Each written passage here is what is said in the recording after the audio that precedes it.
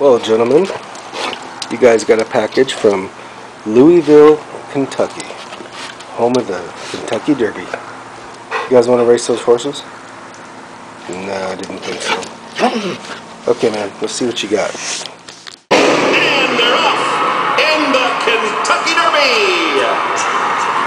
And it's joining the dancers racing for the lead. Musket Man has some early speed on the inside. Here's Regal Ransom with some speed as well. Beat the Twin Spires the first time. Regal Ransom and Join in the Dance vie for the early lead. Pioneer of the Nile is right up there. And then it's Papa Clem down toward the inside. He's now fourth. There's Ricardi forwardly placed fifth on the outside.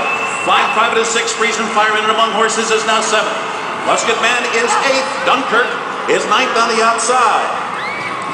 Then farther back down on the rail, that is uh, Atomic Rain, uh, running in the 11th position, two lengths back. And General Quarters is now 12th, nowhere to hide, is 13th on the outside. West side, Bernie is now, now down toward the rail, and then on the outside, at the back of the pack, beginning to move up now, is uh, Hold Me Back. It's still Join in the Dance with a tenuous lead. Regal Ransom and Pioneer of the Nile strike the front just outside the eight pole. Musket Man is coming hard down the center of the track, and Papa Clem's right there too, down toward the inside, coming on through. That is uh, my